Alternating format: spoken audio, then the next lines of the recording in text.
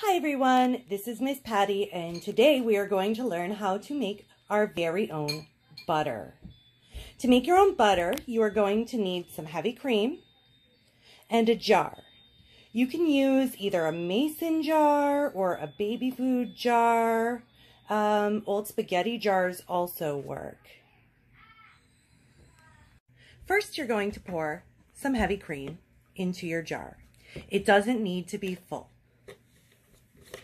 Then you're going to take your lid and put it on the jar nice and tight so that nothing comes out when you go to shake it. And now for the fun part. You're going to shake your jar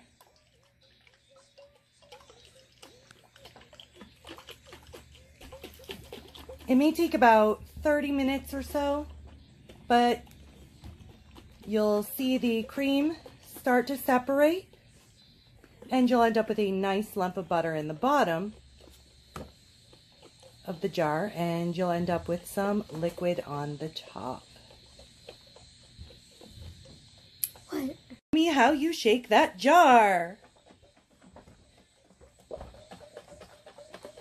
Now, you may want to take turns because shaking a jar for this long can be very tiring. What are we to do with the, with the liquid on the top?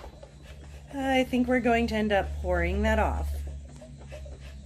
Shaking the jar causes the cream and the milk to separate.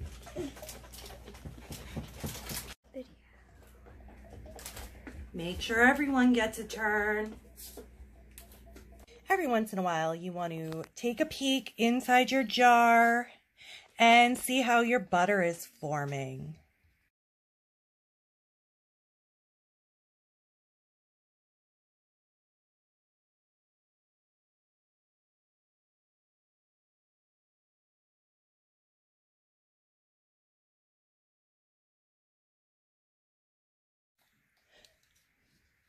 When your heavy cream has completely separated and you have a nice lump of butter inside of your jar, you can pour the liquid into another jar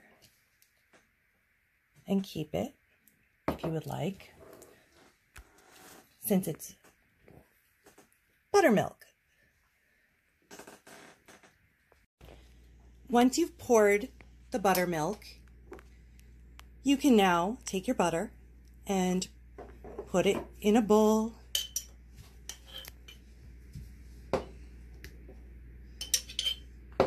And if you'd like, you can add a little salt or some fresh herbs to it.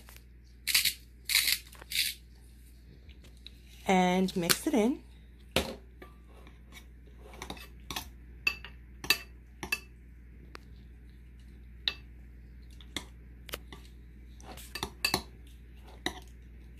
You can store it in an airtight container in your fridge.